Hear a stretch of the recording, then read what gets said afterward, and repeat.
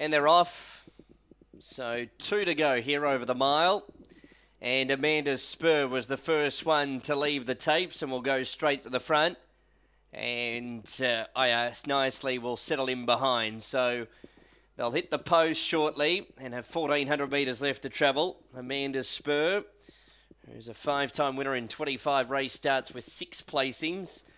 A son of Pegasus Spur, the leader, to the turn out of the straight with 12.50 left to travel. And I asked nicely, who's won three from 39 with six minor placings, is tucked in behind a length and a quarter away. They've uh, trotted through the first quarter in 34.1, and uh, not much to change here from this point on with 1100 metres left to run. Amanda Spur for David Morris leads out by length and a quarter, and I asked nicely is in second and uh, just getting the sweet seat in behind. So they trot along the back straight into the direction of the 850 metres marker now. This is trial two of seven.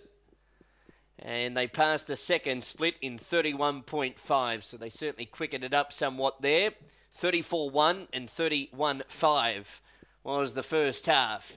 700 metres left to run. Amanda Spur, who uh, is back at the trials leading by a length. And I asked nicely, who's also first up at the trials this afternoon in second spot. So down the side of the track, and it's Amanda Spur in front, and they're just starting to cruise along again. In second spot, as I asked nicely, who pops off from the trail to try and get a little bit closer to Amanda Spur. 31 4 was the third split. Top of the straight, Amanda Spur in front. I asked nicely gets to the outside and starts to run on rather well. So at the 200 metres mark, Amanda Spur by about a half a length. I asked nicely down the outside. 100 metres left to run in trial number two. Amanda Spur, I asked nicely, is raising another effort on the outside. Won't be much in this when they hit the post. Amanda Spur by a head to I.